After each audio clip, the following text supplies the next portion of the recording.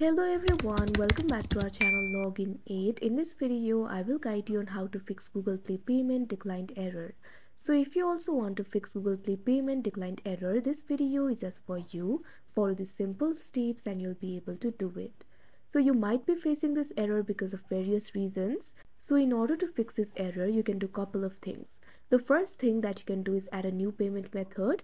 For that, what you have to do is launch open Google Play Store. You can see over here Play Store has been opened. At the top right corner of your screen you'll be able to find your profile icon. All you have to do is tap on it. Now after that you can see over here you'll be led to this kind of interface. You'll be able to find several options over here. At third you'll be able to find the option for payments and subscriptions. All you have to do is tap on it. Now after that you can see over here you'll be led to the payments and subscriptions interface. You'll be able to find four options over here at first, you'll be able to find the option for payment methods. All you have to do is tap on it. Now after that, you can see over here, you'll be led to the payment methods interface. From here, you'll be able to add a new payment method. Go ahead and add a new payment method. You can add a credit or debit card over here. Simply enter the card details. After that, you'll be able to add credit or debit card. After that, your payment will not be declined. But if you're still facing this error, in that case, what you can do is clear the cache of Google Play Store. For that, what you have to do is launch open settings on your device.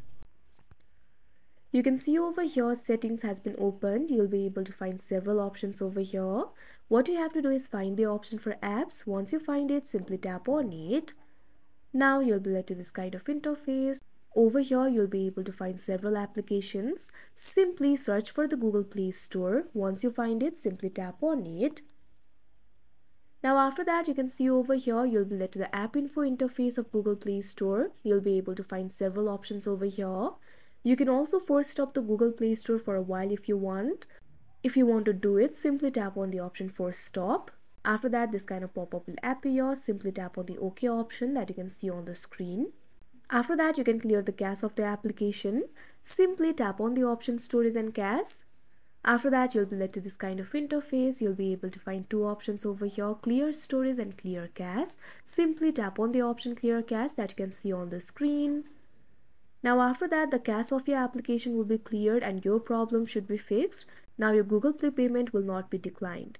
So that is how you fix Google Play payment declined error. I hope you found this video helpful. Thank you for watching. Make sure to like, share and subscribe to our channel.